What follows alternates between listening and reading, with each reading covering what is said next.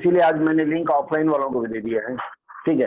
Call recording शुरू हो गई, अब मैं बात शुरू करता हूँ, जो बाद में आएँगे, आते रहेंगे। देखिए, सबसे पहले मैं आप लोगों को ये जो परीक्षा हो रही है, उसको अच्छे से देने का फॉर्मूला बता दे रहा हूँ। बहुत ज़रूरी है ये जानना कि हमें क्या करना है। सबसे पहले आपको ये करना है कि आप लोग अपने दो आइडेंटिटी प्रूफ ऐसा रखेंगे, जिसमें आपका डेट ऑफ़ बर्थ सुन लीजिए। जिसमें आपका date of birth clear clear लिखा हो। डेट का मतलब 2 मार्च 1975 या 2 अक्टूबर उन्नीस सौ पंचानबे या फ़र्स्ट अगस्त उन्नीस जो भी आपका डेट ऑफ़ बर्थ है, वो स्पष्ट लिखा हो। रोहित जी के साथ ऐसी दुर्घटना हो गई थी।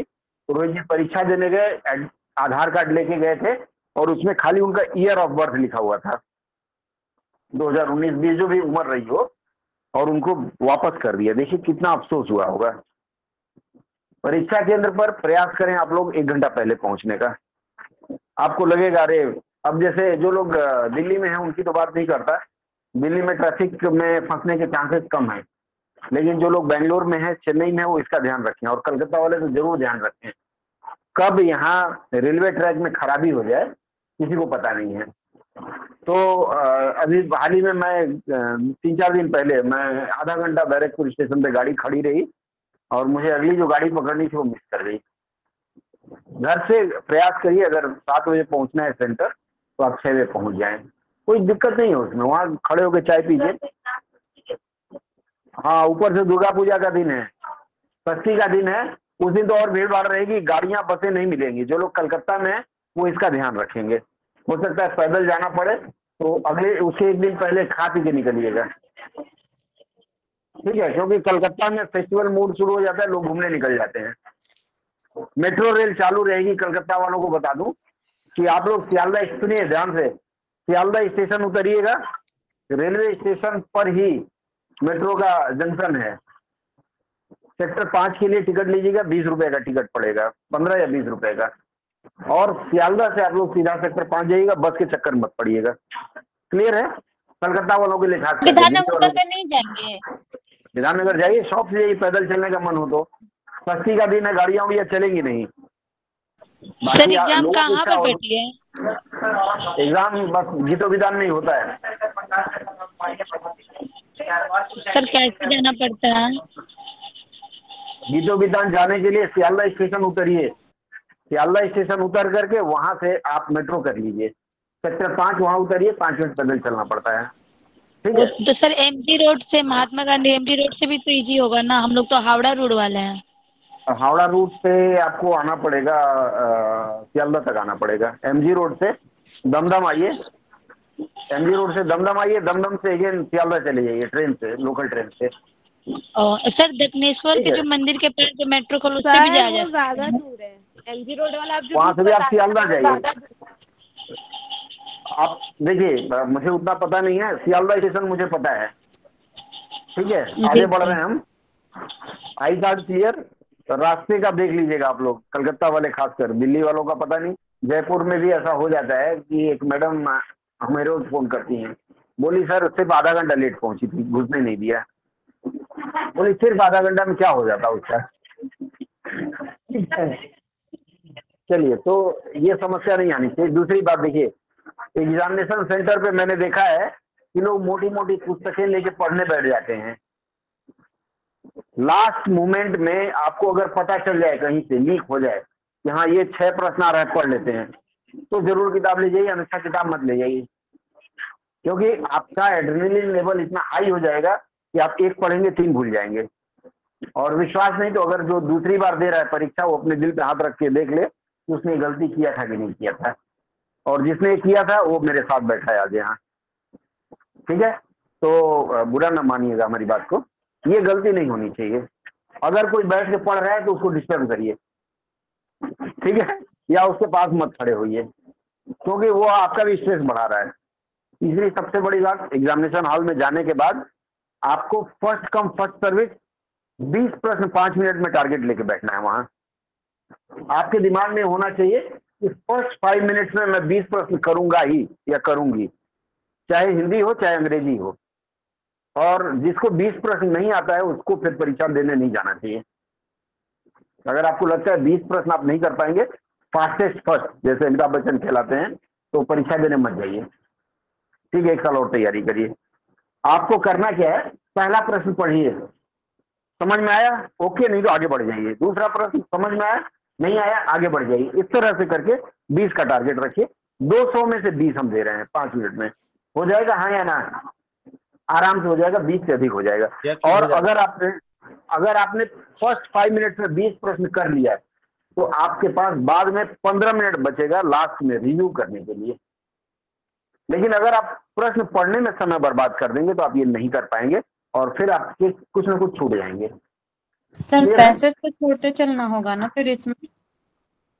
आपको मैंने 20 प्रश्न बोला तो जो शॉर्टकट आए उसको देना है ना पैसेज पे नहीं उलझना है। फ़र्स्ट फाइव मिनट की बात कर रहा हूँ मैं पहला पाँच बीस मिनट प्रश्न दे रहे हैं तो तीस बीस तीस नंबर क्वेश्चन पे पहुँच जा रहे हैं तो उसके बाद क्या करेंगे? जहाँ छूट गया जो स्किप मैंने किया है उसके पास फिर मैं आ रहा हूँ आ रहा हूँ। पहले मुझे सुन लीजिए फिर मैं आपकी सुनूँगा। ठीक है नहीं भूल जाऊँगा क्या बताना चाह रहा हूँ। ठीक है पहला समझ में आया? आपको जो जैसे मान लीजिए पूछ लिया कि दिए गए वाक्यांश में कौन सा समास है? इतना तो समझ में आ गया कि लंबोदर दिया हुआ है तो बहुबरी समास नहीं है कर्मधारय है। है नहीं है? क्यों? मैं बोलूँ मैं बोलूँ प्रियंका ने आज पीताम्बर ओढ़ रखी है। तब नहीं। हो। हाँ तो ये- ये लंबोदर का। मैं बोल रहा हूँ प्रियंका ने पीताम्बर ओढ़ रखी है तो लंबोदर हो जाएगा। धन्य हो धन्य हो क्वेश्चन कंसंट्रेट करिए। मैं जो कह रहा हूँ कंसंट्रेट करिए। नहीं हो तो ये स्पीकर निकाल के फेंक दीजिए माइक में लगाइए। उसके बाद आपको करना क्या? बीस प्रश्न हो गए। इसके बाद आप पैसेज जो पढ़ना है मैंने आपको बताया है कि पैसेज पढ़िए और जो महत्वपूर्ण अंश है कागज़ मिलता है रफ कागज़। थोड़ा सा नोट कर लीजिए लाइन वन ऐसे वन नोट करिए जैसे मान लीजिए आपके पास ये लाइन वन है हाँ रमेश आपका कीवर्ड ये रहेगा ये आ सकता है। उस अनुसार अगर नोट कर लेंगे ना तो आपको दिक्कत नहीं होगी। फिर दोबारा दोबारा पढ़ने के लिए खोजना नहीं पड़ेगा। ठीक है? नंबर भी लिखते जाएँगे वन टू अरे जैसे मन करे वैसे लिख लीजिए ये मेरा तरीका है। आपको ना अच्छा लगे तो मत रखिए। मैं शुरू में ही बोला जिसको अच्छा ना लगे वो ना रखे ना माने हमको। ठीक है? पूरी बात सुन मतलब लीजिए ज्योति तो हैं। मतलब अरे दादा ज्योति पहले पूरी बात सुन लीजिए फिर मैं आपसे बतियाऊँगा अकेले में फ़ोन कर लीजिएगा। ठीक है? मेरी आदत है कि मैं लाइन वन टू थ्री ऐसे करके लिखता हूँ। आपकी आदत लाइन वन टू नहीं है तो पहला शब्द याद रखिए। लेकिन ये ज़्यादा आसान तरीका है। वन टू पाँच लाइन का है पाँच लाइन लिखने में कोई दिक्कत है? ये सबसे आसान तरीका है। क्यों? गलत बोल रहे हैं। ठीक है? कर पाएँगे? जो नहीं कर पाएँगे, उसके लिए नमस्ते, अपने तरीके से काम करिएगा। भूल गया, एक और पॉइंट बताने जा रहा था। ठीक है। ये होने के बाद उसमें बटन रहता है। क्या पिंक रेड और ब्लू कुछ ऐसे रहता है ना? एक आंसर्ड एक नॉट आंसर्ड एक रिव्यू के लिए। जिसने भी रिव्यू के लिए डाला है, मैं देखा हूँ, आज तक वो रिव्यू नहीं कर पाया लास्ट में। और उसके चक्कर में ना इधर के रहे ना उधर के रहे ठीक है? ये रिव्यू वाला बटन नहीं दबाना है। चाहे आर या पार। ठीक है? चाहे मर गया या ज़िंदा है। बीच वाला नहीं। ठीक है? तो आप लोग रिव्यू वाला ऑप्शन कोई नहीं दबाएगा। क्लियर है ना? आपको अगर श्योर है टिक करिए ओके नहीं श्योर है, मत करिए। मेरे एक दोस्त हैं, उन्होंने रिव्यू रिव्यू करके सौ प्रश्नों को रिव्यू में डाला था। और बाद में टाइम खत्म हो गया सिर्फ़ दो नंबर उनको मिले। थे दो ही कर पाया। बोले भैया दो ही कर पाया। ठीक है? तो मैं समझाया मैं बोला क्यों रिव्यू में डालना था? अगर आप फास्ट करते जाएँगे ना ये रिव्यू वाली बीमारी खत्म हो जाएगी और आपका आराम से हो जाएगा। कर पाएँगी? पूजा जी ज्योति ज्योति ज़रूर रिव्यू में डालेगी। नहीं सर हम कभी नहीं डालते हैं। मेरा ये आदत ही नहीं हाँ। ठीक है। वेरी गुड वेरी गुड ठीक है? तो मैंने तीन चीज़ बताया रिव्यू में नहीं डालना है। फास्टेस्ट सिंगल खेलना है, और उसके बाद लास्ट में आप जाके देखेंगे कि पंद्रह मिनट आपको कंफर्म बचेगा। मेरा एक घंटा बचता था तो आपका पंद्रह मिनट तो बचेगा ही बचेगा। उस पंद्रह मिनट में जो छूटे हुए सवाल हो, उसको आप देख लीजिए एक बार। और इस तरह से आपका समय का सदुपयोग होगा, और सफल होने के चांसेस बढ़ जाएँगे। ठीक है? मंत्र याद रहेगा? कुछ नहीं याद है कंप्यूटर उठा उठा के जेब में रखिए, घर के चले आइए। चलिए हम आज की चर्चा जो पूछना था। बोलिए क्वेश्चन का आंसर अंग्रेज़ी क्लास में प्रश्न का उत्तर हिंदी क्लास में। हाँ सर। सर एक से एक से पच्चीस तक मैंने क्वेश्चन अटेंड किया तो उसमें से मान लीजिए मैं छह क्वेश्चन अंग्रेज़ी क्लास में बात करिएगा। हिंदी की क्लास में प्रश्न कहेंगे तभी जवाब देंगे नहीं नहीं देंगे सर प्रश्न मैंने सवाल सही किया तो एक एक करके रीचा ज्योति बोल लीजिए। सर एक से पच्चीस नंबर तक मैंने प्रश्न का आंसर किया उत्तर किया उसके बाद मेरा पाँच हाँ, प्रश्न छूट जा रहा है तो हम्म। फिर मैं उसको लास्ट में उसको देखूँगी बीस फिर पच्चीस के बाद नहीं जाऊँगी ना? आपने बोला पाँच मिनट पहले मैं बीस का टारगेट दिया हूँ आप तीस कर लेते तो तीस करिए ना। उसके बाद फिर से शुरू से करिए। ठीक है? ऋचा बोलिए क्या है? फिर मैं शुरू करूँ टाइम अधिक हो रहा है। हाँ। तो ये इंग्लिश में भी सर अभी आपने कहा ना पाँच मिनट में बीस सवाल अपना टारगेट रखिए। तो सर ये हिंदी हाँ। में ही होगा कि इंग्लिश में भी बीस इंग्लिश तक दोनों ही मिला के दोनों मिला के जहाँ तक आप पहुँच जाए। आप अपने गाँव से चलिए हमारे गाँव तक आने में बीस स्टेशन छू लीजिए। कुत्ता काटते हैं तो लोग बोलते हैं बीस कुआँ झांकना पड़ता है पहले बोलते थे। ठीक है और जहाँ तक मिले उसी हिसाब से। ठीक है चलिए हम आगे बढ़ते हैं। चार वाक्य आपको दे रहे हैं। देखें आप लोगों ने पढ़ाई वढ़ाई किया है कि झूठे बतियाने में व्यस्त हैं। चलिए सबसे पहला वाक्य देता हूँ। सब घोड़ा काला नहीं होता है। देख पा रहे हैं तो बताइएगा जो लिख रहा है दिख रहा है? सब घोड़ा नहीं दिख रहा है ना? देख रहा है। देख रहे हैं। हाँ। तो लिखिए सब घोड़ा काला नहीं होता काला नहीं होता है। सात लाइन दिखाऊँगा मैं। पूरा दिख रहा है ना? सब घोड़ा काला नहीं होता। दूसरा लिखिए हर एक गाय दूध नहीं देती। ह र में एक ही मात्रा। हर एक गाय दूध नहीं देती।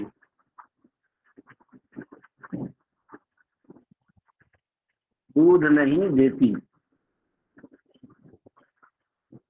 लिखते चलिए आप लोग? तीसरा वाक्य है, प्रत्येक घोड़े काले नहीं होते। यहाँ सब है, उसके ऊपर लिखते हैं प्रत्येक घोड़े।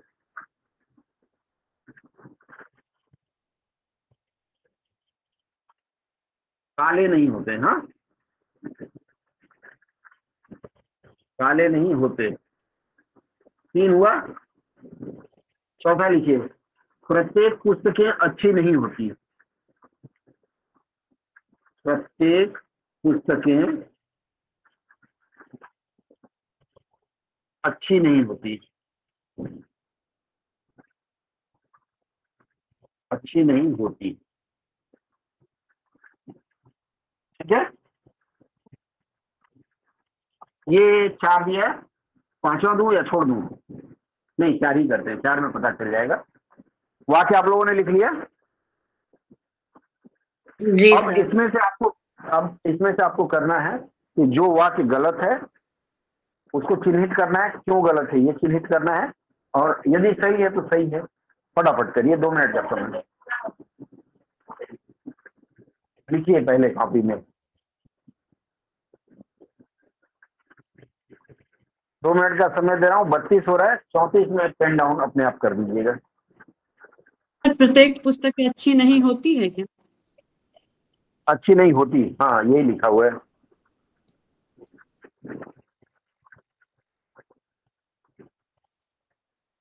ये आपको वाक्य शुद्धि का एक और सूत्र आज दे दूँगा शायद पहले मैंने ना दिया हो। ठीक है? लिख लिया सभी ने? चलिए शुरू करते हैं। पहला वाक्य पंकज जी। पहला वाक्य गलत है सही है? क्या होना चाहिए? पहला वाक्य में तो घोड़े लिखा ही। है प्रत्येक अच्छा, घोड़ा के साथ प्रत्येक घोड़ा एक एक करके सबसे ऊपर प्रत्येक घोड़े काले नहीं होते सर घोड़े नहीं गलत बोलिए सर घोड़ा होगा सर। घोड़वा होगा। गुड़िया नहीं बोलेगी हाँ? गुड़िया नहीं बोलेगी। प्रत्येक घोड़वा क्या? प्रत्येक घोड़ा? नहीं होता? प्रत्येक घोड़ा काला नहीं होता वेरी गुड घोड़ा घोड़ा ही तो बोले थे सर। सर घोड़ा ही तो बोले थे सर। अरे हम बोले आप थोड़ी देर शांत रहिए आज आप मत बोलिएगा बीच में। आप खाली सुनिएगा हाँ? वेरी गुड प्रत्येक घोड़ा काला में काले होगा काले ठीक है। यहाँ काले होगा। है चलिए वेरी गुड दूसरा वाक्य सब घोड़ा काला नहीं होता। है सब घोड़े काले नहीं होते। सब घोड़े। सब घोड़े यहाँ घोड़े होगा और यहाँ काले होगा। इसीलिए बोला गया है घोड़े काले का भेद नहीं। अगला वाक्य हर एक गाय दूध नहीं देती। सर हर एक में गाय क्या होना चाहिए? प्रत्येक गाय प्रत्येक गाय होना चाहिए। सर हर एक भी लिख सकते हैं सर लेकिन हर और प्लस एक लिखना पड़ेगा। सर हर गाय दूध नहीं देती होगा सर। लिखा है मैंने जो लिखा है होल्ड ऑन होल्ड ऑन मैंने जो लिखा है किसी शब्द में हेर नहीं करूँगा मैं। आपको वाक्य में अशुद्धि बताना है कि शब्दों में अशुद्धि तो मैं नहीं पूछा हूँ हर और एक नहीं होता। हर और एक नहीं होता। ये जो व्याकरण लिखे हम लोग ना, ये गलत लिखते हैं। या तो एक होगा, या हर होगा, लेकिन ये हर एक लिखा जा सकता है। हर र में एक ही मात्रा और क लिखा जा सकता है। क्लियर है? चलिए, आगे बढ़ते हैं। हर एक गाय दूध नहीं देती। ये सही है या गलत है? गलत है गलत है सही तो है। क्या विकल्प होना सही है सर। हर एक मतलब है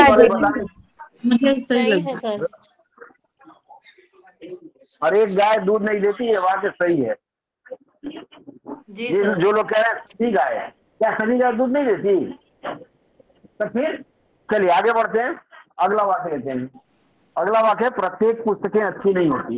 इसमें प्रत्येक पुस्तक अच्छी नहीं। होती जाइए ठीक है? चलिए, प्रत्येक पुस्तक अच्छी नहीं होती। देखिए, इस, ये जो सूत्र मैंने आपको दिखाया है, ये विशेषण का विशेष सूत्र है। विशेषण, सुन लीजिए। विशेषण का जो विशेष सूत्र मैं बताने का प्रयास कर रहा हूँ, इसमें क्या होता है? जब प्रत्येक लिखा होगा, ध्यान दीजिए लिख लीजिए नोटबुक में, जब प्रत्येक आएगा तो उसके बाद संज्ञा शब्द एक वचन होगा। लिख लीजिए। प्रत्येक के साथ संज्ञा हमेशा एक वचन में। और सब लिखा रहेगा तो उसके साथ संज्ञा बहुवचन में ये सूत्र लिख लीजिए आप लोग। प्रत्येक जब रहेगा, उसका संज्ञा, उसकी संज्ञा जो है, वो क्या होगी? एक वचन में। क्योंकि एक की बात कर रहा है ना, एक एक को चुन चुन के मारूँगा। बोलते हैं ना हमारे भैया, समझे भैया? बीरू भैया बोले थे। ठीक है? तो प्रत्येक मतलब एक की बात होती है तो उसके बाद एक वचन। एक ही चलाएँगे ठीक है। चलिए आगे बढ़ते हैं। ठीक है। और अगर सब है तो सब के साथ क्या लगेगा? सब के साथ हमेशा संज्ञा बहुवचन लगेगा सर। ये सूत्र याद रहेगा? मिटाऊ? इस तरह के छोटे छोटे सूत्रों पर आज मैं चर्चा करूँगा। मिटा दें? हाँ या ना? जी सर। यस सर चलिए। जी सर। आ, कल मैं आप लोगों से बात कर रहा था तो एक समानाधिकरण की बात आई थी। और आधे से अधिक लोगों ने मुझे बताया नहीं कि समानाधिकरण क्या बना है। तो माँ लाइट चली गई। ना समान अधिकार समान अधिकार वेरी गुड समान अधिकार हिंदी व्याकरण में कहाँ प्रयोग होता है? में होता है सर जहाँ पर इक्वल मतलब बराबर का सेंस एक चीज़ मैं आप लोगों को अभी फिर से वार्निंग दे रहा हूँ कि जब हम लोग बात करेंगे हिंदी में तो प्रयास करेंगे हिंदी बोलने का। नहीं नौकरी लग जाएगी ना तो आप लोगों को बहुत दिक्कत होगी। मैं भी बहुत अंग्रेज़ी पटर पटर बोलता था। बड़ी बेइज्जतियाँ हुई हमारी। तो आप लोग ऐसी बेइज्जती चाहेंगे क्या? नहीं होता शब्द आप लोग नहीं होगा छोड़ दीजिए अंग्रेज़ी बोलिए पूरा। ठीक है फुल अंग्रेज़ी बोलिए। चलिए मैं क्या बता रहा था आपको? समानाधिकरण का मतलब होता है समान अधिकार किस पे समान अधिकार समानाधिकरण समुच्चय होता। है। जी बिल्कुल सही। समुच्चय बोधक अव्यय होता है। समानाधिकरण। समानाधिकरण व्यधिकरण इस तरह की बातें सुनी होंगी आप लोगों ने। नहीं सुना है तो आप लोग बेग बारो और स्टील इसको खोजिएगा। समानाधिकरण का मतलब होता है इसका दोनों पे समान अधिकार होता है। पूछा जाता है समानाधिकरण। समानाधिकरण तीन शब्दों से जुड़ता है। मतलब दोनों को पकड़ के रखता है। इधर भैया को भी पकड़ेगा, भाभी को भी पकड़ेगा, झगड़ा नहीं होने देगा। ठीक है? जैसे राधा और मधु। लिख लीजिए, और एवं और तथा, ये तीन शब्द जोड़ते हैं, वो समानाधिकरण बनते हैं। लिख लीजिए मतलब दो पदों के बीच में। और एवं तथा, ये तीन शब्द हैं जो समानाधिकरण बताते हैं। मतलब उसका वो समुच्चय बोधक प्रीपोजिशन बोलते हैं ना अंग्रेज़ी में। तो उसका दोनों पे समान अधिकार है। और अव्यय का भी वो रूप है। कहीं प्रीपोजिशन का भी भाग आता है कंजंक्शन भी आता है। देखिए, ये जो समानाधिकरण है अलग अलग जगह आपको मिलेगा। अव्यय में भी मिलेगा और ये आपको समास में ही मिलेगा। तो समानाधिकरण एक शब्द को लेकर हम चलते हैं, ठीक है? समुच्चय बोधक योजक जब कहेंगे, तब वो कंजंक्शन का काम करेगा। ठीक है? नहीं समझे समुच्चय बोधक, योजक। योजक मतलब जो जोड़ता है। तो तीन ही चीज़ से जोड़ता है। फेविकोल का मज़बूत जोड़ है। ठीक है? देखें ऐड आप लोग ना। वो जाता है तय तय करके और लकड़ी डुबाता है, तीन मछली पकड़ के निकालता है। तो और एवं तथा ये तीन चीज़ें इसमें आती है और यह महत्वपूर्ण रहेगा आपके लिए। ठीक है? कुछ लोगों को आपत्ति थी, कारक समझ नहीं आया था। आपको भी? कुछ लोगों को थी ऑनलाइन है क्या वो? अगर ऑनलाइन नहीं है तो मिस करेंगे हम आगे बढ़ जाएँगे। हाँ देखिए कारक चिन्हों के लिए सबसे पहले आप नोट करिए कर्ता लिख लीजिए आप लोग भी। मत लिखिए सुन लीजिए कर्ता कर्म लिखते चलिए। कर्ता कर्म करण संप्रदान अपादान संबंध अधिकरण और संबोधन। कितने हो गए? कर्ता कर्म करण संप्रदान अपादान संबंध अधिकरण। सात हो गए। संबोधन आठ। संबोधन ही सर। क्या बोल रहे लास्ट वाला में से आठ हो गया। ठीक है। अब इसमें देखिए कर्ता मतलब राम ने बंसी बजाई। कर्ता की पहचान ने शब्द। ठीक है? कर्ता के साथ ने जुड़ा होगा। राम ने रावण को मारा। कर्म के साथ को जुड़ा होगा लिख लीजिए। खोल तो हाँ। ठीक है। कर्ता के साथ ने कर्म के साथ को। करण के साथ करण मतलब क्या होता है? करण अर्जुन करण होता है? मतलब से साधन। काम होने में जो सहायता देता है। जैसे मैं बस से आया। मैं ट्रेन से आया मैं साइकिल से आया वो से जो है वह साधन को करण बोलते हैं। ठीक है? क्लियर है? करण के बाद संप्रदान। संप्रदान मतलब बस से अब क्यों आएगी अगर मैं पूछूँ आप बस से क्यों आए?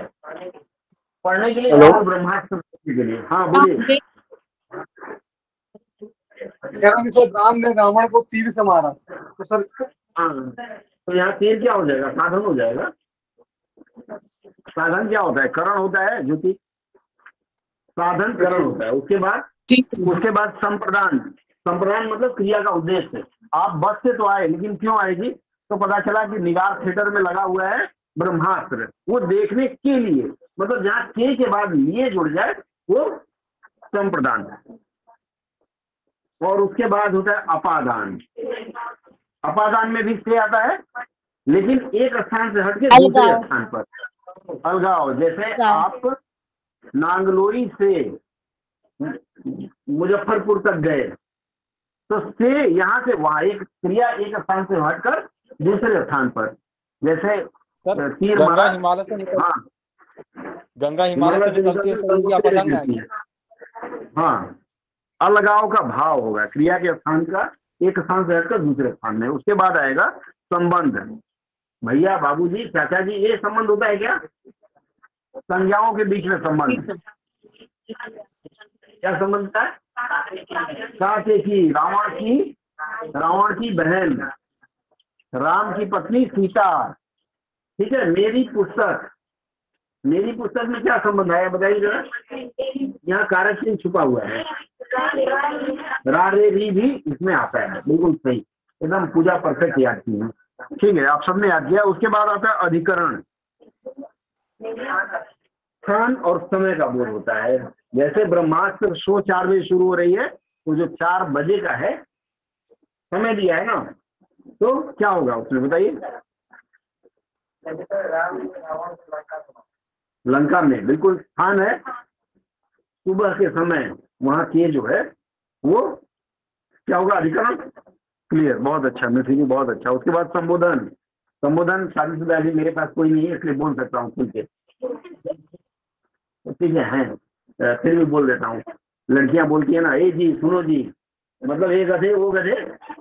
है चलिए फॉर फन हाँ? घर जाके पति देव को मत बोलिएगा, नहीं, फिर हम भी मार खाएँगे।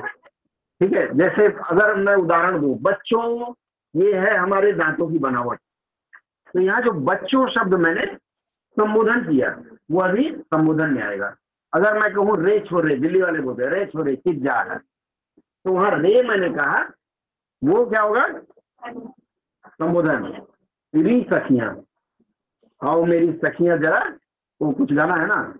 तो वहाँ इस तरह का जो प्रयोग होगा, वो संबोधन होगा। क्लियर है? सर हाँ? हेलो भाई और बहनों। हाँ वो भी आ जाएगा। बोलिए। सर बोल रहे एक क्वेश्चन था कि सर क्वेश्चन में अगर एक प्रश्न में अगर दो हाँ, सर हाँ अगर दो हाँ कर्म हो तो कौन सा प्रधान कर्म और कौन सा गौण कर्म हाँ, होता है ये थोड़ा बता दीजिए इन्होंने सरिता जी ने प्रश्न किया कि अगर वाक्य में दो कर्म हो तो प्रधान कौन होगा? प्रधान कौन होगा? कर्म सर। सजीव सजीव कर्म को पहले माना जाएगा। बिल्कुल सही। सजीव कर्म पहले निर्जीव कर्म बाद में। दोनों सजीव हुआ तो सर अगर दोनों सजीव कर्म हुआ तो फिर आप संदर्भ के अनुसार देखिए। जिस पे ज़्यादा ज़ोर दिया जा रहा है जैसे राम ने रावण और विभीषण दोनों को मारा अच्छा। तो जो और के बाद लगता है वो सेकेंडरी माना जाएगा। इसका मतलब उस पर ज़ोर नहीं दिया जाएगा पहले जिसको रावण मारा वो प्रधान हो जाएगा। और ये। कारक चिन्हों की कहानी खत्म अब हम आते हैं अलंकार में। अलंकार में मैंने कहा तक बताया था कल? है थोड़ा सा एक बार बताइए ना मैं और अलंकार बताया।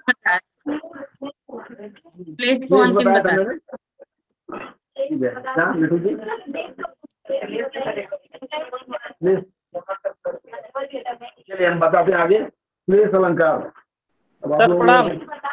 जी प्रणाम कैसे हैं? जी जी हूँ। सर कुछ कहना चाह रहा था अगर अगर इजाज़त हो तो कहूँ। बोलिए। सर कारक वर्ग जो पढ़ाया जा रहा है क्योंकि हाँ, अब मेरा मेरा एक निवेदन है मेरा एक निवेदन हाँ। है ये निवेदन ही है मेरा। हाँ। हाँ। जैसे कारक वर्ग पढ़ाया जा रहा है मुझे लग रहा है सर। हाँ। मुझे मुझे मुझे सर कि जैसे जो प्रश्न सर करेक्शन वाला आता है जैसे वाक्य शुद्धि वाला आता है बात। ये दस हम्म, प्रश्न पूछता है हम्म। पूरा और आपका फिलिंग हाँ। जो फिलिंग ब्लैंक्स आता है वो भी दस प्रश्न पूछता है एंटोनिम्स और हाँ, हाँ। सिनोनिम्स मिला के कभी कभी पंद्रह बीस क्वेश्चन पूछ लेते हैं और एक जी। मुहावरा दस नंबर का आ जाता है कभी कभी और यार अलावा हाँ, करके हाँ। जो क्यू आर एस टी देता है क्यू आर एस पी वाला देता है क्वेश्चन हाँ, ये सर दस क्वेश्चन पूछता है तो मेरे समझ से सर हाँ। इसके ये ये पोर्शन अभी यार अलावा क्यू आर एस वाला कभी हम्म, सही से न- चर्चा करेंगे उस पर भी करेंगे। चिंता मत करिए उस पर आएँगे। हम खाली पाठ खत्म कर दे अलंकार फिर हम आगे बढ़ेंगे। ठीक है? जैसे अभी शुरू आप शायद लेट से जुड़े हैं या मैं शुरू शुरू में मैंने चार प्रश्न दिया था और मैंने उस पर पूछा था। हाँ बोलिए। हाँ हेलो। हाँ सर तो तो ये ये सर ये प्रश्न जो है सर ये ये पोर्शन मेरे से एक बार ये रिवीजन करा दिया प्रतिदिन करके। सर के अंदर दीपक जल रहा है सर ये कौन से वो कारक आप खोज लीजिएगा कारक खत्म हो गया। ठीक है? और जो अलग से प्रश्न पूछना हो बाद में। चैप्टर पूरा नहीं हो पाएगा फिर हम रामकोला का भागवत करते रह जाएँगे। चलिए श्लेष अलंकार की मैं बात कर रहा था। श्लेष का क्या मैंने बताया था कल? क्या बताया था? श्लेष का अर्थ होता है चिपका हुआ है। इसका मतलब है कि एक ही अर्थ से कई अर्थ बंद कर दिए एक ही शब्द के कई अर्थ निकल सकते हैं। वो श्लेष अलंकार में आता है। उदाहरण मैंने क्या बताया था? मैंने बताया था, रहीमन पानी राखिए, बिन पानी सब सून, पानी गए न उबरे मोती मानस सुन। अर्थात पानी जो एक शब्द है, वो तीन लोगों के लिए उसके तीन रूप बनते हैं। ठीक है? मनुष्य के लिए पानी का मतलब इज़्ज़त बना के रखिए। चूने में पानी पड़ता है, वो असली पानी है, और मोती में जो पानी पड़ता है, वो भी पानी है, लेकिन तीनों का रूप बदल देता है। ठीक है? एक शब्द के साथ तीन शब्द जुड़े होंगे, या चार शब्द इस तरह से होगा, वो श्लेष अलंकार होगा। ठीक है? श्लेष और उपमा में अंतर आपको पता है कुछ। श्लेष और यमक में, बताइए। यमक में दो शब्द रहेंगे, कनक कनक से सौ गुणी दो के बीच तुलना की जाती है, लेकिन श्लेष अलंकार में एक ही शब्द रहेगा, मूल आधार। ये ध्यान रखिएगा। कई बार हम लोग कंफ्यूज होते हैं इससे तो वो गलती ना हो। भेज के मत जाइए। पूछा है कहीं। देखिए, जो आप पूछा नहीं, वहाँ भेज के मत जाइए। डीडीए का प्रश्न लेके मत उलझिए आप। ठीक है? क्योंकि भेदों में उलझेंगे तो दिक्कत होगी। आप खाली समझने का प्रयास करिए। आगे बढ़ते हम लोग। अनुप्रास वाला भेद पूछता है, वो मैंने आपको बता दिया है। उसके बाद एक वक्रोक्ति होता है। मैंने कल बताया था और यहीं पे मैंने खत्म कर दिया था। वक्रोक्ति जो होता है वक्रोक्ति का मतलब होता है, बकता है। उल्टा सीधा बात जो कोई बोले। मतलब वक्र उक्ति, जो गलत सुने। इसका प्रयोग हाथ से, लिख लीजिए। इसका प्रयोग हास्य रस में, वीर रस में और श्रृंगार रस में होता है। ठीक है? हास्य रस, वीर रस और श्रृंगार रस में। जैसे बोलते हैं, तुम तो तात्या तोपे के पोते लग रहे हो। या बोलते हैं अरे धन्ना सेठ हो गया। मतलब व्यंग मारते हैं जहाँ ठीक है? जैसे इसमें एक उदाहरण दिया हुआ है, अक्सर यही पूछा जाता है। लिख लीजिए, हैं घनश्याम, हम तो बरसों कित जाए। हैं घनश्याम, किसी का स्पीकर ऑन है, बंद कर लीजिए हैं घनश्याम, हम तो कित जाए। हैं घनश्याम, हम तो बरसों किस जाए? बरसना। देख पा रहे हैं जो मैं लिख रहा हूँ? जी सर। ठीक है। हैं घनश्याम हम तो ये पूरी एक ही लाइन में है। हैं घनश्याम हम तो बरसों कित जाए। नहीं मनमोहन है प्रिय अगली लाइन है। नहीं। नहीं मनमोहन है प्रिय। नहीं मनमोहन है प्रिय। ठीक है? नहीं मनमोहन है प्रिय क्यों पकड़त तब पाए? पकड़त। असल में बिहार के कुछ क्षेत्र हैं, मिथिलांचल वगैरह, ये लोग अवधि भाषा से काफ़ी प्रभावित दिखते हैं। इसलिए वो लोग घोड़ा बोलते हैं, पकड़त। क्यों? पकड़त। प रत हमारे यहाँ वाले बोलेंगे क्यों पकड़त? है या हिंदी में र हो गया है, लेकिन पहले र चलता था। क्यों पकड़त तब पाए? देखिए कहने का मतलब ये है कि अगर मैं ही घनश्याम हूँ घनश्याम किसको बोलते हैं? बादल को बोलते हैं ना? तो अगर मैं ही बादल हूँ तो कहाँ जाके बरसू बताइए? ठीक है? और अगर नहीं है सर नहीं दे रहा है। मैं बोल रहा हूँ उसको सुनिए उससे लिख लीजिए। वो थोड़ी लाइट वाली दिक्कत है।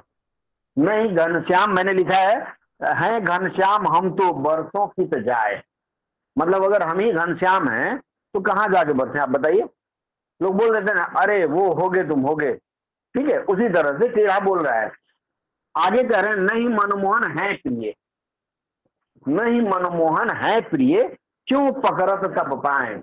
मतलब अगर ये मनमोहन भगवान श्री कृष्ण नहीं है तो क्यों इनके पैर पड़ रहे हैं आप लोग? क्लियर है? नहीं। व्यंग बोला जा रहा है। व्यंग बोला जा रहा है, यहाँ व्यंग बाण बोला जा रहा है। एक ही प्रश्न अक्सर पूछा जाता है। और ये घनश्याम को यहाँ दो रूपों में दिखाया गया है। घनश्याम मतलब एक तो काले बादल हो गए और घनश्याम किसको बोलते हैं? कृष्ण भगवान को। मिटा दू ना, मैं लिखा हुआ। तो यहाँ कह रहा है कि भाई अगर कृष्ण नहीं है तो जाओ कहीं और बरसो। ठीक है? ये खाली ये जो मैंने सुक्ति बताया इसको दिमाग में रखिएगा।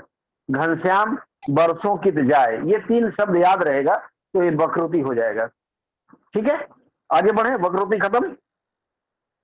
इसमें कौन सा और रस है? बताएँगे श्रृंगार ये तीनों प्रयोग होता है। जयश्री बोलिए क्या बोल रही हैं? जी इसका इसका एक बार और अर्थ बता दीजिए कि वक्रोक्ति अलंकार अ, क्या होता है? वक्रोक्ति का मतलब होता है जहाँ टेढ़ा बोलते हैं। मतलब हमारी भाषा में करते हैं तो जहाँ व्यंग बोलते हैं। हाँ अरे सर भ्रमर गीत वाला जो हाँ भ्रमर गीत वाला में सब वक्रोक्ति है ना सर। हाँ ये जो मैंने बताया भ्रमर गीत का हिस्सा है ठीक है? वक्रोक्त का मतलब तो हमेशा टेढ़ा बोलेंगे उसको। अरे जाओ जाओ तुम ये होगे। ठीक है? तुम वो होगे जाओ देख लेंगे। झगड़ा होता है तो बोलते हैं ना तो वो पता नहीं मैं कौन हूँ तो बोलता है कौन हूँ भाई बता दो। ठीक है? ये सब टेढ़ी बातें हैं और ये भ्रमर गीत पूरा का पूरा वही है। ठीक है? श्लेष और यमक में अंतर समझ में आ गया आप लोगों को। वक्रोक्ति समझ में आ गया। हाँ है ना?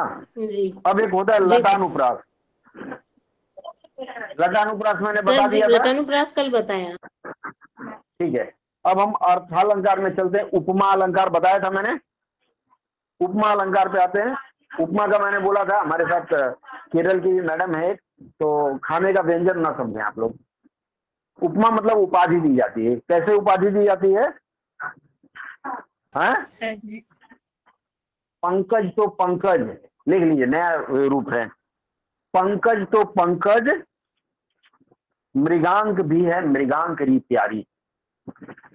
पंकज तो पंकज मृगांक भी है मृगांक री प्यारी। बस ये खत्म करके मैं थोड़ा सा टेस्ट लूँगा आप लोगों को पाँच मिनट में।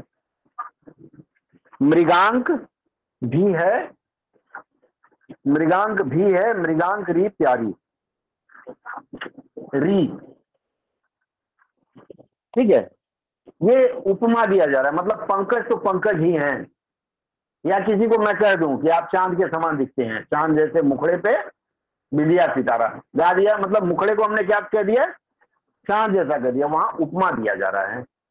क्लियर है? आगे बढ़े। अगले में चलें। या रुकना है बोलिए। अरे बोलिए कुछ तो बोलिए आप लोग ऑनलाइन वाले। सर उपमा अलंकार आगे चलते सर। हैं हेलो? हाँ? सर। हाँ बोलिए। सर हम्म। उपमा अलंकार का री के अलावा बहुत सारा शब्द आता है ना सर वो वाला थोड़ा बता दीजिए ना सर। देखिए दूसरा हरिपद कोमल कमल। हरिपद कोमल कमल लिख सकते हैं इसको। मतलब हरि मतलब भगवान श्री कृष्ण या फिर हरि विष्णु उनका पद मतलब पैर किसके जैसा कोमल है? कमल के जैसा को, कोमल। दूसरा मैंने मुख चंद्रमा लिख दिया आपको। चाँद जैसा मुखड़ा मैंने बताया ना वो चल सकता है। और इसमें जिसके बारे में चर्चा की गई आपको पता ही है। बस इतना ही है। कुछ और बताऊँ या आगे बढ़े? एक और आता है उसमें। उपमा में आता है, कथनी मीठी खाड़ की। उतनी दो, उतने दोहे याद नहीं रहेंगे आपको। आप सिर्फ़ इतना याद रखिए कि किसी की किसी से तुलना की जा रही है। ठीक है? तमाम दोहे, मैं बोलता रहूँगा, समय बीतता जाएगा, कोई लाभ नहीं है। ठीक है? आगे बढ़ते हैं, इसके बाद उत्प्रेक्षा है। उत्प्रेक्षा क्या है? उत्प्रेक्षा का कीवर्ड लिख लीजिए, मनु मनु जनु मनु जनु जनहु जानो, फिर मानहु मानहु मानव के बाद मानो, लिख लिए, मानो। मानो के बाद निश्चय। निश्चय के बाद ईव, बड़ी ई और व। ईव के बाद जो बस इतना ही कीवर्ड इसका है। मतलब दो चीज़ों में जब तुलना कराई जाए ना तो आप समझिए ये कौन सा अलंकार है? उत्प्रेक्षा। उत्प्रेक्षा। का हाँ उत्प्रेक्षा का एक आध उदाहरण एक आध उदाहरण आपकी तरफ़ से आए। मानव झूल रहा है सरु भी मंद पवन के झोंकों में। मानव से शुरू किया? ठीक है। उसका चेहरा ऐसा चमक रहा था मानो सूर्य हो। मानो लगाया?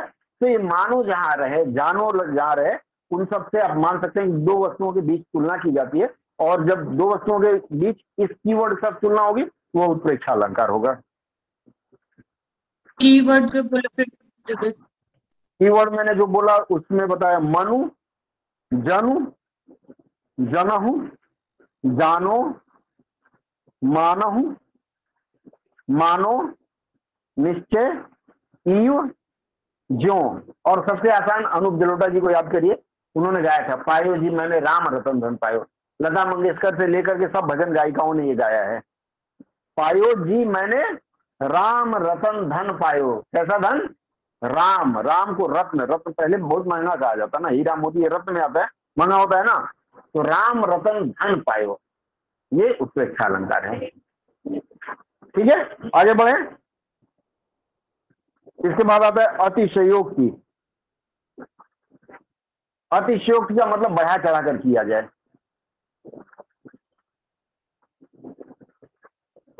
इसमें साकेत किसने लिखा था? मैथिली शरण गुप्त जी की रचना है। साकेत।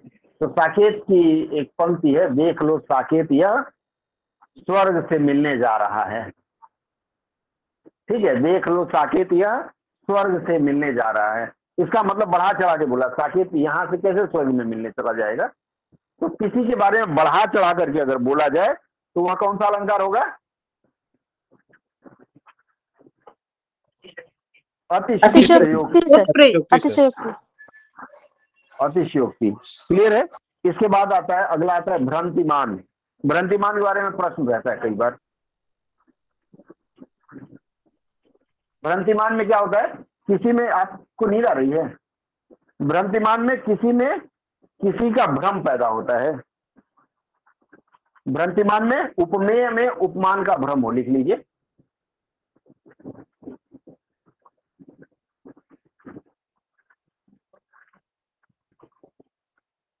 इसका सबसे आसान उदाहरण है। बोलू आगे। पाए महावर देन को, पाए पाए मतलब पैर में। महावर बोलते हैं लाल रंग को, देन को। हाँ आल्टा, बंगाल में आल्टा बोलते हैं। नाइन बैठी आए। फिर फिर जानी महावरी एड़ी भीड़त आए। आए महावर देन को। देन मतलब लाल, लाली लगाने के लिए नाइन जो है, नाऊ जो है, उनकी पत्नी आई हुई है, वो लगाने के लिए। ठीक है? फिर फिर अगला अगली अगली पंक्ति है। फिर फिर जानी महावरी एड़ी भीड़त जाए। एड़ी भीड़त मतलब एड़ी बेचारी छुपाई जा रही है। ठीक है? ये आता है आपका भ्रंतिमान में। भ्रम पैदा होना और भी बहुत सारा आएगा।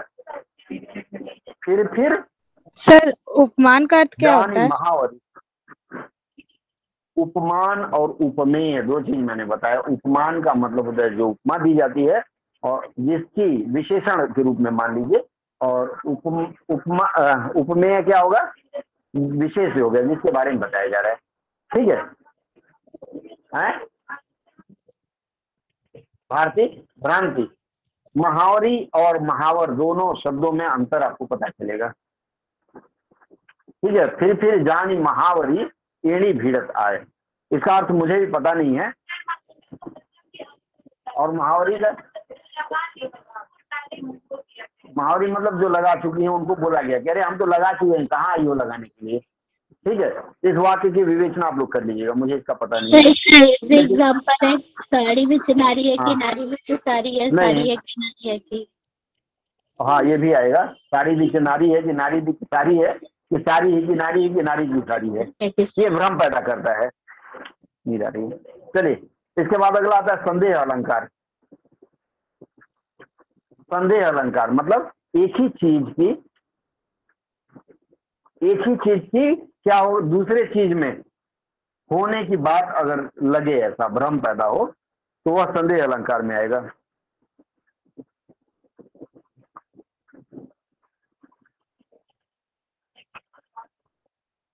ठीक है? लिख ले, हैं? संदेह अलंकार।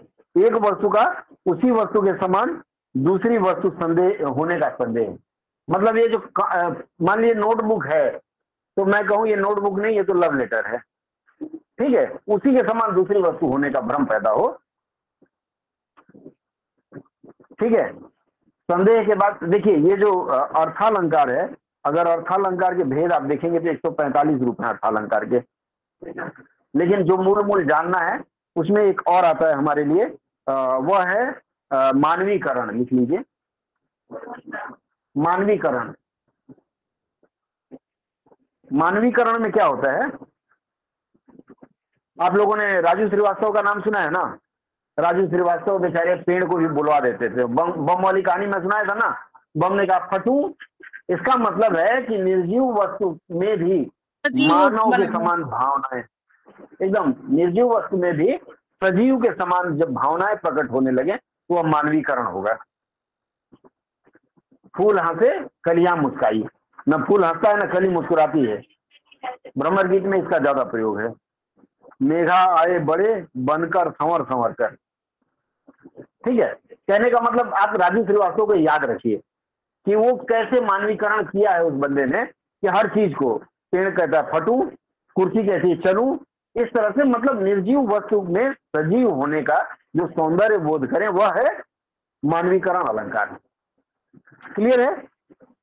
सर उदाहरण बोलिए उदाहरण तो बोला दिल्ली में एक बार पालिका बाज़ार में बम फटा था। तो विक्टिम जो था उससे पत्रकार ने पूछा भाई बम कैसे फटा? उसने बताया बम पहले उस आदमी के हाथ से उछला और कूद के मेरे पास आया और मुझसे पूछा मैं यहाँ गिर हूँ तो मैंने कहा गिर जा। फिर उसने कहा फटू। तो मैंने कहा फट जाए और वो फट गया। ये जो उसने जो भी लेखक जिसने भी रहा हो उसने बम को मानव रूप में बना दिया। आगे पूछेगा बम आपसे फटू? या गोली आप कहेगी लगू क्या? तो यही आपका क्या है? मानवीकरण है। आगे बढ़े। हाँ? निर्जीव वस्तुओं को मानव के समान भावनाएँ दे दिया जाता है। इसके बाद कुछ और विचित्र है लिख लीजिए। अ, मुझे लगता है पूछा नहीं जाता पर पूछ लिया तो। इसमें आता है प्रतीप। प्रतीप। प्रतीप एक ऐसा शब्द है ना इसको उल्टा सीधा पढ़ेंगे तो वही आता है। तो इसका रूप भी होगा प्रतीप का अर्थ होता है उल्टा।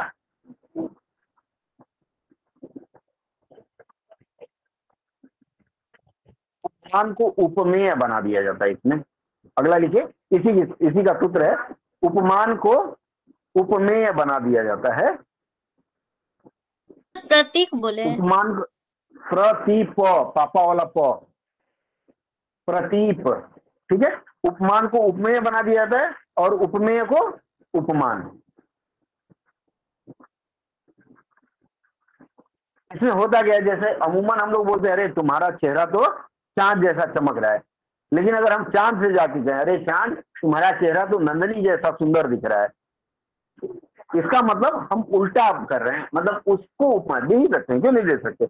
हम हमेशा नंदनी को चाँद से क्यों तुलना करें? चाँद को नंदनी करें। ठीक है, नंदनी हमारी चाँद से अधिक सुंदर है, इसलिए हम बोल रहे हैं चाँद, तू नंदनी जैसा नहीं सुंदर है। ठीक है, ये प्रतीक होता है। क्लियर है? जो आम जो हम उदाहरण देते हैं, उससे हटके। जैसे तुम प्रताप, तुम सूर्य है, जस जस सोहत चंद कई मिलेंगे। आप सिर्फ़ इतना ध्यान रखिए कीवर्ड ध्यान रखिए। प्रतीक के बाद आएगा अपहृतु। अपहृति। अपहरण से आता है अप। अप तो आप लोग लिख लेंगे ना। अप, ये ह्री होता है। ह्री के बाद छोटा होगा मात्रा, ये आजकल चलता नहीं। ये जो ह्री लगा हुआ है ना, उसमें छोटा होगा मात्रा भी है। अभी हम उच्चारण नहीं कर पाएँगे, संस्कृत का शब्द है ठीक है, लिख लीजिए आप, ऐसा कुछ दिखे तो। ह्री लिखा हुआ है, उसमें छोटा का मात्रा है। अपहृति अपहृति का मतलब कुछ छुपाना। मतलब सत्य छुपाकर असत्य को प्रमुखता दी जाती है। इसमें लिख लीजिए। अपहृति, ब्रैकेट में लिख लीजिए, छिपाना। सत्य छिपाकर असत्य को क्या दिया जाता है? प्रधानता दिया जाता है। जैसे उदाहरण लिख लिया लीजिए नहीं, पलाश के पुहु पिए। नहीं, पलाश के पुहु पिए। पुहु पुहु फूल को बोलते हैं शायद। नहीं, पलाश के पुहु पिए। ये जरत अंगार। एक और उदाहरण देता हूँ। ये तो कठिन हो गया। एक आसान से देता हूँ। ठीक है? जैसे फ़िल्मों में डाला जाता है, आप लोग भी कहीं कहीं बोल देते हैं मैं जलता हुआ अंगारा हूँ, आग लगा दूँगा, तमाम इस तरह की बातें बोलते हैं ना। तो आप अंगारा हैं तो जल के भस्म हो गए होते, यहाँ क्या कर रहे हैं? इसका मतलब है कि जब सही चीज़ को छुपा के दूसरा कुछ बोला जाए तो वो किसमें आएगा? अपऋतु में आएगा। अपरुति सॉरी अपहृति। उसके बाद अगला लिखिए। अनन्वय। अ न आधा न वय बस दो और है उसके बाद ये खत्म। अनन्वय लिख लिया आपने? अनन्वय। अनन्वय का मतलब होता है उपमेय और उपमान एक ही होते हैं। नहीं लिख रही हैं आप। हाँ, लिखिए। उपमेय और उपमान एक ही होता है।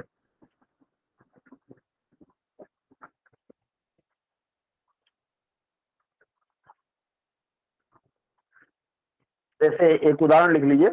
सुंदर नंद किशोर से सुंदर नंद किशोर से, फिर से लिखिए सुंदर नंद किशोर। सुंदर नंद किशोर से सुंदर नंद किशोर।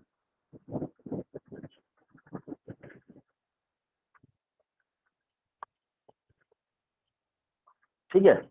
मतलब एक ही व्यक्ति में दूसरा व्यक्ति भी समाहित है। अगला लिखिए, विभावना।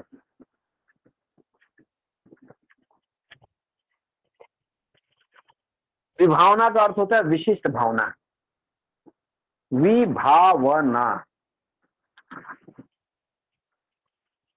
विभावना का अर्थ होता है विशिष्ट भावना।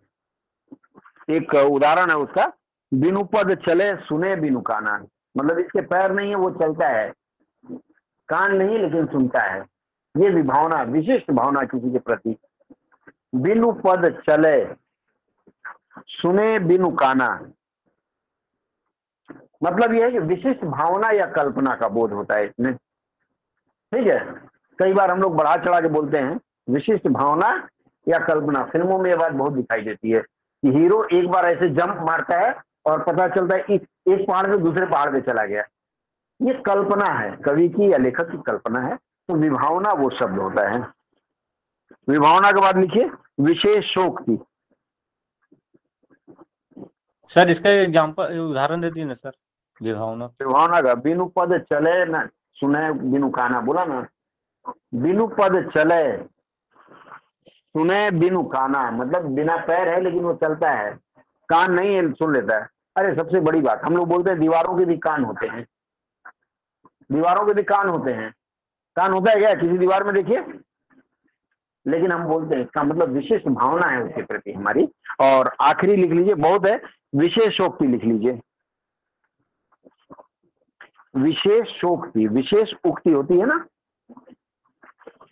विशेष शोक्ति, लोग घड़ी देखने लगे, भूख लग गई। विशेष में उक्ति जुड़ता है विशेषोक्ति विशेषोक्ति लिखा आपने? आप लोगों ने लिख लिया? विशेषोक्ति कहते हैं, ये विभावना का एक रूप है। अंतर क्या है? मूर्ख हृदय न चेत। ये बुरा मत मानिएगा आप लोग। ये छात्रों और गुरु के बीच की बात है। तो मैं गुरु नहीं मानता अपने आप को, प्रशिक्षक हूँ। लेकिन फिर भी जान लीजिए, मूर्ख हृदय न चेत। जो गुरु मिला ही विरंचितम मूर्ख हृदय न चेत, कमा चेत चमे की मात्रा। जो गुरु मिला ही विरंचितम मतलब भगवान भी आके पढ़ा नहीं सकता उस आदमी को।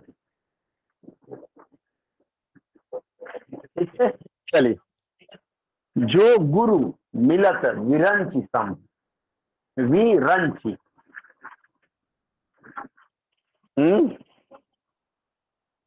ठीक है। ये मैंने कुछ आठ या दस बता दिया आपको। अर्धालंकार इतना पढ़ लेंगे तो काफ़ी है। और अलंकार से। अब थोड़ी सी वो कर लिया जाए अभ्यास प्रक्रिया। भैया कहा है? ठीक है। यहाँ तक मैं क्लियर कर पाया आप लोगों को हाँ या ना? जी सर। चलिए अब थोड़े से मैं अभ्यास ले लूँ।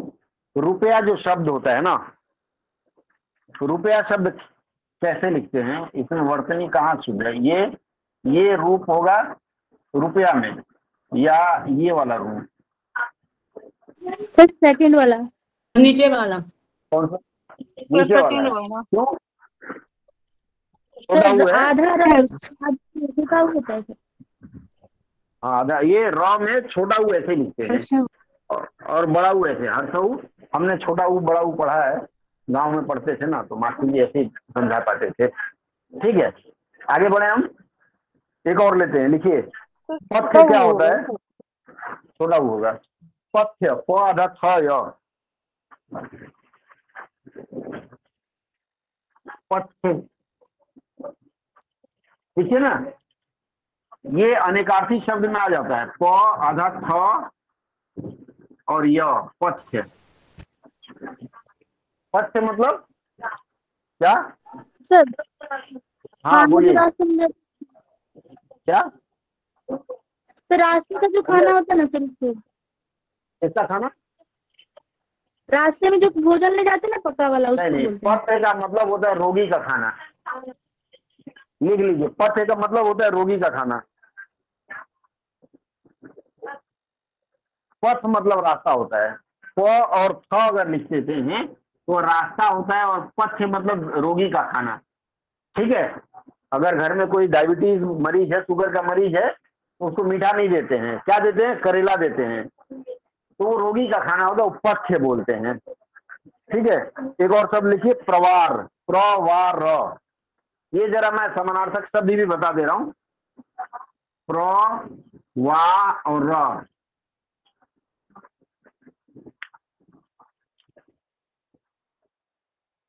नीचे गिरा हुआ बोल दीजिएगा ना उसमें हाँ? प्रवार और प्रवाल। प्रवाल दो शब्द है। प्रवार और प्रवाल पूछा जा सकता है। प्रवार मतलब क्या होगा और प्रवाल मतलब क्या होगा? प्रवाल दीवार। प्रवाल जो है ये वस्त्र होता है। प्रवार मतलब वस्त्र होता है। और ये मूँगा होता है। प्रवाल मतलब मोती जैसा मूँगा वो लिख देते हैं। ये पत्थर आप देखिएगा, बहुत लोग, बंगाल में तो बहुत लोग पहनते हैं। हैं? हाँ मतलब मैंने एक आदमी को देखा, दसों उंगली में पहने था। मैंने कहा, गले में एक किलो का डाल लेता ठीक है, वैसे बुरा मान जाते हैं लोग। तो प्रवार मतलब वस्त्र होता है, और प्रवाल मतलब मूँगा है, ये तरह का रत्न माना जाएगा। तो देखिए, उंगली खाने लगी बेचारी, भूख लग गया। और मरीची और मरीची, लिखिए। म र में छोटी की मात्रा च में छोटी की मात्रा। एक शब्द है मरीची और दूसरा है मरीची। बस आज के लिए इतना। इन दोनों का अर्थ क्या होगा? सर हाँ। किरण होगा सर। क्या? वेरी गुड और नीचे वाला? सर नीचे वाला नहीं ये हो गया किरण। और ये सूर्य हो गया। ठीक है? सूर्य और चंद्र दोनों के लिए मरीची शब्द का प्रयोग होता है। ठीक है देख पा रहे हैं ना? आप लोग बोर्ड देख पा रहे हैं? ठीक है आगे बढ़े हम लोग। आज शब्दों की चर्चा शब्दों की चर्चा यही और कुछ एक वाक्य देते हैं देखिए जरा। हाँ बोलिए। बोलिए एक प्रश्न प्रश्न था सर। हाँ। कि हाँ। सर विख्यात और विख्यात मतलब विख्यात में एक तो में हलंत लगा हुआ है और दूसरा तो में हलंत नहीं लगा हुआ था तो मैंने हलंत वाला है हलंत वाला शब्द संस्कृत का शब्द है। हलंत जो लगता है संस्कृत का है हिंदी में जो देवनागरी लिपि का मानकीकरण हुआ है उसमें हलंत वाली परंपरा हटा दी गई है। बाकी अगर जो टेस्ट सीरीज़ देता है ये उसके दिमाग पे है कि हलंत वाला मानता है या खड़ा वाला। लेकिन देवनागरी लिपि के मानकीकरण में हलंत हटा दिया गया है। बोलिए। सर का जो छोटी की मात्रा था उसकी क्या मीनिंग उसका क्या अर्थ बताए? क्या क्या? छोटी की मात्रा था मरीची में उसका अर्थ क्या था? मरीची में? मरीची का मतलब किरण छोटी की मात्रा वाला किरण और बड़ी वाला सूर्य और किरण वाक्य लिखिए। झंडे को फहराया गया। झंडे को फहराया गया लिखिए। बोलना नहीं है। लिखिए झंडे को फहराया। गया भैया कहाँ तक पहुँचे? फ़ोन नहीं उठा रहे, सो गए लग रहा है। पापा को फ़ोन, मम्मी को बोलिए। झंडे को फहराया गया दूसरा वाक्य लिखिए। चोर पीटा गया।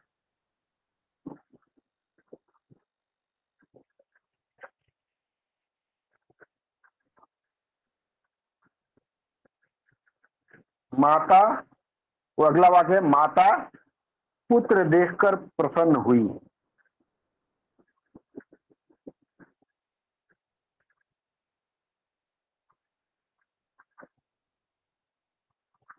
अगला है, कृष्ण ने राधा देखा। कृष्ण ने राधा देखा।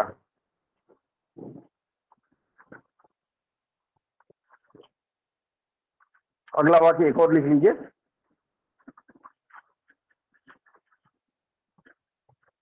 उससे पानी भी पिया नहीं जाता उससे पानी भी पिया नहीं जाता कितने हो गए पाँच हो गए शायद ना? चलिए इन वाक्यों की हम गलती सर पिया में बड़ी की मात्रा। सौ में छोटी बड़ी कर देंगे तो पिया हो जाएगा पति। ठीक है? चलिए। पहला वाक्य क्या है? झंडे को फहराएगा कहाँ गलती है? को नहीं होगा। इसका सूत्र क्या इसका सूत्र क्या है निर्जीव करता झंडा। कर्म के साथ को नहीं लगता। है करता नहीं झंडा क्या है? कर्म है या करता है इस वाक्य में? तो निर्जीव कर्म के साथ को का प्रयोग नहीं होता। पहला सूत्र है जो मैं रिमाइंड करा रहा हूँ याद करा रहा हूँ। अगला। चोर पीटा गया। चोर सजीव है तो को लगेगा। चोर को पीटा चोर को पीटा। हाँ मतलब सजीव कर्म है तो को लगेगा निर्जीव कर्म है तो लगबे ना। चलिए आगे बढ़ते हैं। अगला वाक्य। माता ने पुत्र को देखकर प्रसन्न हुई ने। माता नहीं अरे भयंकर बोले जाएगी दादा। माता दादा पुत्र को देखकर पुत्र को देख हाँ माता पुत्र को देखकर प्रसन्न हुई। क्लियर है? अगला वाक्य। कृष्ण ने राधा राधा को देखा। कृष्ण ने राधा राधा को देखा। बिल्कुल राधा को देखा को का प्रयोग होगा यहाँ इसके बाद अगर को लिख दिया मैं तो कौन सा कारक होगा ये? किसने राधा को देखा? कौन सा कारक? कर्म। भाव। सर भाव कारक पूछ रहा हूँ कारक पूछ। कर्म कारक संबंध कर्म कारक कारक होगा ठीक है। कर्म। और ये इसमें इसमें क्रिया है सकर्मक क्रिया अकर्मक क्रिया कोई क्रिया है क्या? इसमें क्रिया है? कौन सी क्रिया है? कर्मक। है। सकर्मक है या अकर्मक है? कर्मक कर्मक है सकर्मक। है। क्यों? क्योंकि राधा राधा की जगह रमेश लग दिया तो। वो देखेगा ही देखेगा। तो सकर्मक है। कंफर्म ठीक है। चलिए अगला वाक्य है। उससे पानी पानी भी पिया नहीं जाता ये वाक्य सही है गलत है? भी नहीं होगा सर। नहीं सही है। इसमें क्या होता है? पानी भी पिया नहीं जाता वाक्य पर ज़ोर देना हो ना बहुत बीमार है बेचारा पानी भी नहीं पी सकता। पानी तो पी सकते हैं ना मुँह नहीं हिला पा रहा है तो इसमें ये भी वाला प्रयोग होगा। सही है। ये पाँच शब्द हैं सत्या साहब हैं कि छोड़ दिए। सत्या जी हैं? नहीं है। चलिए आज हाँ बोलिए। मैं बोल लूँ पूजा पहले। पूजा पहले मैं बोल लूँ। देखिए आज की चर्चा में मैंने कुछ अलंकार कुछ वाक्य शुद्धि रैपिड फायर पढ़ा। अब अगली चर्चा में मैं आप लोगों से सूरत से आने के बाद मिलूँगा। शनिवार को। सोलह तारीख को ऊपर है। सोलह को मैं लौट के आ रहा हूँ सोलह की क्लास लूँगा मैं आपके साथ सत्रह को। सत्रह शनिवार है। कौन सा दिन है? अगली क्लास में सत्रह को लूँगा। शनिवार से। हाँ तो आप लोग अपने प्रश्न इकट्ठा करके रखिएगा। अब मैं एक रैपिड फायर टेस्ट करूँगा जो मैंने बताया है। दे दिया ऑफ़ कर दे। ठीक है? आगे ओवर टू दीपक सर और अब दीपक सर से बात करिए। ये वाला है। ये बटन दबा दीजिए ऑफ़ हाँ बोलिए। पूजा जी अपना प्रश्न पूजा का प्रश्न सर बोलिए झंडा हाँ सर बोल पाँच मिनट बोल का रहे बाद ब्रेक ले लीजिए। हाँ बोल रहे सर झंडा तो फहराया गया था तो क्यों नहीं लगेगा तो क्यों नहीं लगेगा तो फिर झंडे भी तो नहीं होगा सर झंडा होगा झंडा फहराया गया। हाँ झंडे वही तो मैंने बोला था। वही तो मैंने झंडे बोला था। झंडे थे। अच्छा ठीक झंडे फहराए गए अगर झंडे रहेगा तो गया को गए हो जाएगा। ठीक है। ठीक है ठीक है ठीक है। और कोई गुड़िया बोलिए। सर सर हाँ। पत्नी का प्रवाची दारा होता है ना सर दारा? हाँ हाँ लेखनी दाराक्ष पर हस्ते गता गता ये बोला जाता है। पत्नी और कलम दूसरे को दे दी तो अपनी नहीं वापस क्या? वो कौन सा लिंग होगा? दारा अगर स्त्री है तो स्त्रीलिंग होगा ना। सर नहीं लेकिन उसमें तो दारा सिंह पुरुष का नाम है। लेकिन दारा से मैं जो वहाँ के बताया लेखनी दारा शब पर हस्ते घटा गता है। कलम और पत्नी दूसरे के हाथ दिए तो वही रह जाएगी। तो वहाँ वो स्त्रीलिंग है लेकिन मैं कहूँ दारा सिंह दंगल जीत गए तो स्त्रीलिंग नहीं होगी। आपका डाउट क्या है रीचा सर हम ना वहाँ हम वहाँ पे स्त्रीलिंग लगाए थे सर। वहाँ पे नपुंसक लिंग दिखा रहा है सर। नपुंसक लिंग हिंदी व्याकरण में नहीं होता है संस्कृत में होता है। हिंदी व्याकरण में दो ही लिंग होता। है। होता है ना सर उभय लिंग तो हम उभय लिंग नपुंसक लिंग दोनों नहीं होता है। स्त्रीलिंग पुल्लिंग हिंदी व्याकरण में होता है। बाकी अगर परीक्षक चाहता है आप नपुंसक लिखिए तो लिखिए ना। समरथ के नहीं दोष घुसाई। मेरे ऑफिसर ने कहा कि आप कृपया का प्रयोग नहीं करते हैं फ़ाइल में नोट करते हैं। तो मैंने कहा लो जी कर देते हैं। पाँच जगह मैंने कृपया लिख दिया एक वाक्य में। बोले ये क्या? मैंने कहा सर व्याकरण के अनुसार तो कृपया कहीं भी नहीं चलता है। लेकिन आपकी खुशी के लिए मैंने पाँच लिया कल कहेंगे दस लिख लूँगा ठीक है? तो जैसा अफसर चाहे वैसे करिए। परीक्षक जैसा चाहे। चलिए अब ओवर टू दीपक सर बाकी प्रश्न फिर लेते हैं बाद में। थैंक यू सर ठीक है आगे दीपक सर। धन्यवाद जय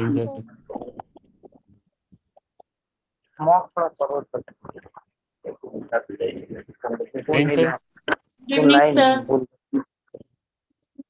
Hind sir. Sir sir बोल देंगे ऑनलाइन। सर।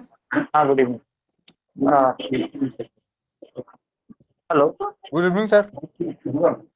हाँ good evening good evening. Actually live mock चलेगा अभी पता है ना? यस सभी को। सुबह हाँ सुबह। आप लोग को पता गया था। और ये मॉक दो घंटे का मॉक है आज पूरा ठीक है? तो साढ़े पाँच से शुरू करेंगे साढ़े सात तक चलेगा आप लोगों का mock. Seven thirty full mock complete खत्म करना है ठीक है? Five thirty to seven thirty ये पूरा मॉक कंप्लीट करके अपना अपना अ, मैं आंसर साढ़े सात बजे सात पैंतीस में अपलोड करूँगा सेवन थर्टी फाइव। आप लोग ऑफलाइन हो जाइए। लाइव रहने की ज़रूरत नहीं है लेकिन सुन लीजिए पहले बात सुन लीजिए। आप लोग ऑफलाइन हो जाइएगा लेकिन साढ़े सात बजे तक मॉक लगाना है। मॉक लगाने के बाद सात पैंतीस में मैं आंसर दूँगा और उसके बाद किसका क्या स्कोर हो रहा है मुझे थोड़ा सा बताइएगा। और एक चीज़ सुन लीजिए सब लोग उसके बाद मॉक में जाइएगा। मैं जो आज करने वाला हूँ ध्यान से देख लीजिए। आपका जो पोर्शन है एसएससी का ये दिख रहा है? बोर्ड दिख रहा है क्या? यस सर यस सर हाँ। जी नोट करिएगा सभी लोग। नरेशन आपका अभी का जो दो साल का ट्रेंड है 2019 और 20 का, क्या ट्रेंड है वो पता है आप लोगों को? देखिए, मैं जो लिख रहा हूँ, थोड़ा सा कॉपी पे नोट करिएगा आप लोग।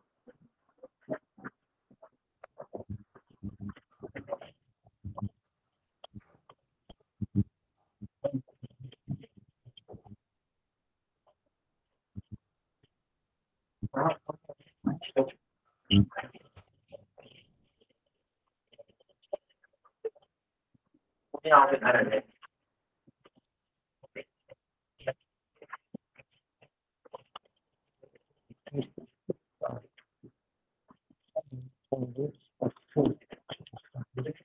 देख लीजिए आप लोग। ये आप लोगों का पैटर्न है, ठीक है?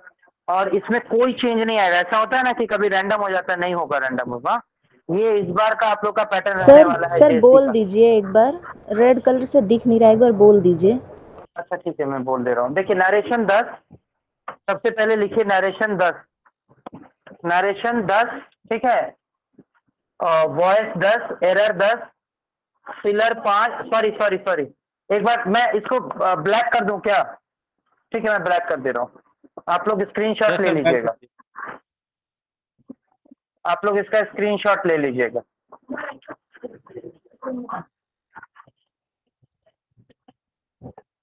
सर हम लोग को भी क्लास करना है। अभी